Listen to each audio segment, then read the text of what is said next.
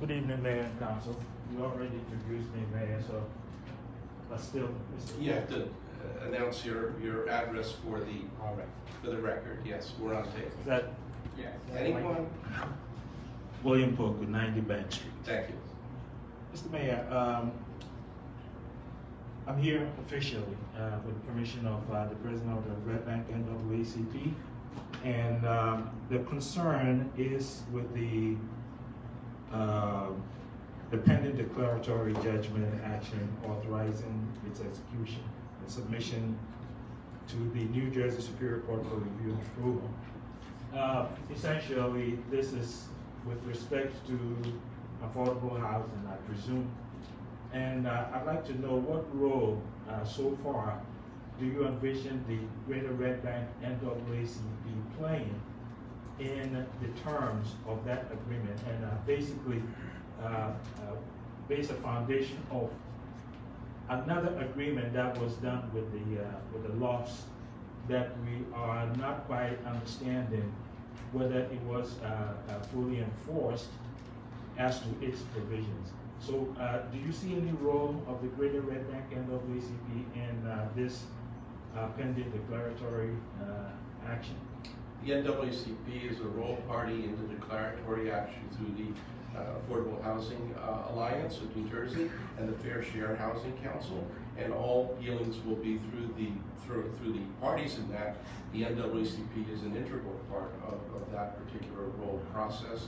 And as soon as the court approves it, I'm sure there will be further instructions from uh, uh, Judge O'Brien uh, when the order is entered. Right now, the order has not been entered. Uh, it will not be before the court for a period of time, probably until next month. So all of those details will be provided in the court order. One last question, uh, uh, the settlement, uh, agreement, uh, I did read in the, uh, agenda that it was attached, but it's, it's The- not, yeah. It will be, the- you're absolutely correct. The, uh, the actual terms of that, now that the council has adopted it, will be posted on the website. But it can't be posted because there was a possibility, as in any resolution or any ordinance that is presented before the council, there are seven heads here, and they can change their minds at any time. That has happened, so that's why it is not posted as an actual fait accompli until they have authorized it and they have this evening. So it will be posted this evening. And finally, uh, a matter of deja vu, uh, I, I believe that uh, many, many years ago, when the uh, council was made up of all Democrats, you know, the NAACP is nonpartisan, you know, we, we don't advocate for Democrats or Republicans and all that. And I would like to reiterate that it is kind of dangerous, you know, for the council to be made entirely of uh, Democrats. Now, this year, I would uh, submit that maybe the, the choices that were put forward were not the best, you know, uh, for the Republicans to uh, uh, get on board. But Councilman Ballard, uh, one vote, you held your nose and voted.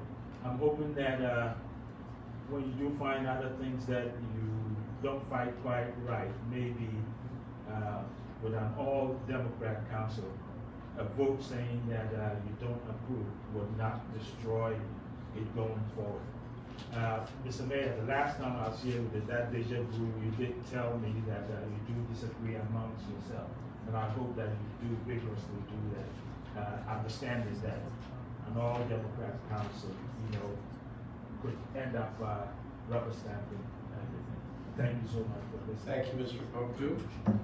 Just uh, a, a, reference that, not a rebuke, but a reference that the last time I checked, we all believe in one person, one vote.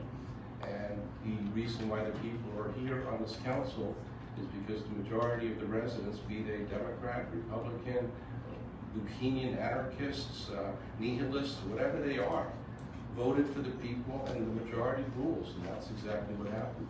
Could very well change in another year or two years or three years, but we believe in a system that um, uh, submits the, to the will of the elected, that's what it was, so thank you. Anybody else? Okay, we do not have a need for an executive session. Anything else